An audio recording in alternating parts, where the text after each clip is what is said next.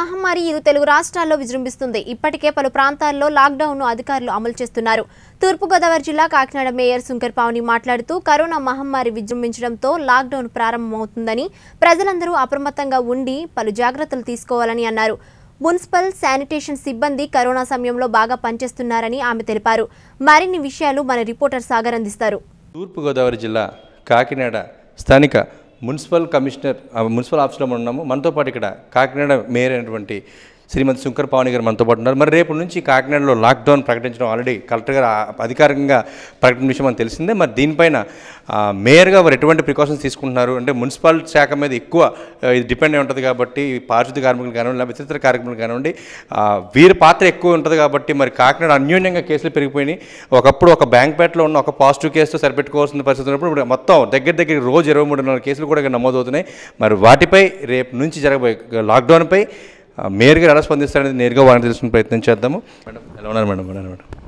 Madam రేపు నుంచి lockdown ప్రకటించారు అధికారికంగా. అసలు ఎలా ఉండబోతుంది? ఏంటి మేడం మీ కాకినాడ పట్టణ ప్రజలందరికీ కూడా తెలుసు. ఎందుకంటే ఈ కోవిడ్ నైన్టీన్తో ప్రపంచం మొత్తం కూడా యుద్ధం చేస్తున్న తరుణం ఇది. అటువంటి పరిస్థితిలో రెండోసారి లాక్డౌన్ ప్రకటించడం జరిగింది. ఎందుకంటే కరోనా కేసెస్ పెరుగుతున్న దృష్ట్యా చాలామంది ఒకే రోజు ఎనిమిది మంది చనిపోయారని చెప్పి మనకు కూడా తెలిసిన విషయం. కరోనా వారిని పడే చనిపోయారు అన్నది మరి అటువంటిప్పుడు ఈ ఈ లాక్డౌన్ పెంచుకోవాల్సిన అవసరం ఉంది కాబట్టి మరి కేంద్ర ప్రభుత్వం ఏంటి రాష్ట్ర ప్రభుత్వం ఏంటి తీసుకున్న నిర్ణయాన్ని ప్రజలందరూ కూడా అర్థం చేసుకోవాలి. ఎందుకంటే వన్స్ ఒకసారి ఆ వ్యాధిని పడ వారు పడినట్టయితే ఒక్కరితో పోదు కాబట్టి మరి కుటుంబం మొత్తం రోడ్డున పడే పరిస్థితి ఉంటుంది. అటువంటిప్పుడు ఈ లాక్డౌన్ పెంచడం ద్వారా ప్రజల యొక్క ఆరోగ్యాన్ని దృష్టిలో పెట్టుకుని ఇటువంటి కార్యక్రమం చేపట్టడం జరిగింది. రేపటి నుండి మరి లాక్డౌన్ ప్రకటించడం జరిగింది. ఉదయం ఆరు గంటల నుండి పదకొండు గంటల వరకు కూడా షాపులు అన్నీ తెరిచే ఉంటాయి కాబట్టి ఆ టైంలోనే తమ యొక్క పనులు పూర్తి చేసుకుని ప్రజలందరూ కూడా తర్వాత లాక్డౌన్ సమయంలో ఇంటి పట్టునే ఉన్నట్టయితే అందరూ కూడా ఆరోగ్యంగా ఉంటారు.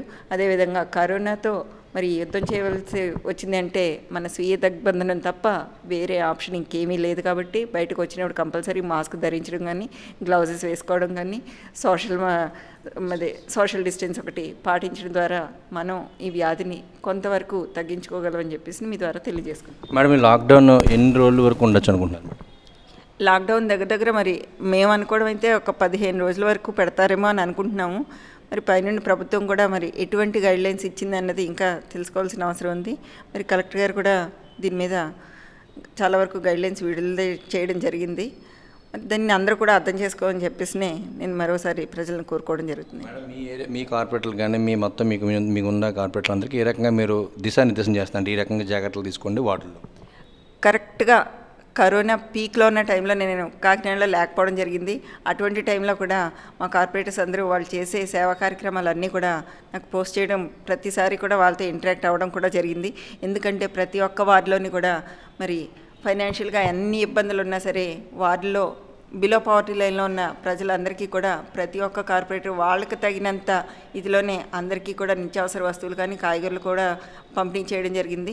ఆ విషయంలో అయితే మాత్రం ప్రతి ఒక్క కార్పొరేటర్ని స్వచ్ఛందంగా ముందుకొచ్చి వాళ్ళకి తాగతుకు తగ్గట్టుగా ఈ ఇటువంటి కార్యక్రమాలు చేసిన అందరినీ కూడా మనస్ఫూర్తిగా అభినందిస్తాను అదేవిధంగా మన కార్పొరేషన్ నుండి చూసుకున్నట్టయితే శానిటరీ వర్కర్స్ కానీ అధికారులు కానీ అందరూ కూడా మరి కరోనా పీక్లో ఉన్నప్పుడు కూడా ఫీల్డ్లోకి వెళ్ళి పనిచేయడం జరిగింది.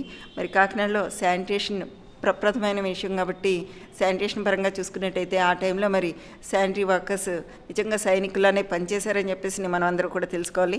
ఎందుకంటే అంత పనిచేసినప్పుడు కూడా అదృష్టం ఏంటంటే ఒక్క అధికారికి కానీ అదేవిధంగా మన కార్పొరేషన్లో పనిచేసే సిబ్బంది కానీ ఎవరికి కూడా కరోనా బారిన పడలేదు దేవుడి దయ వల్ల.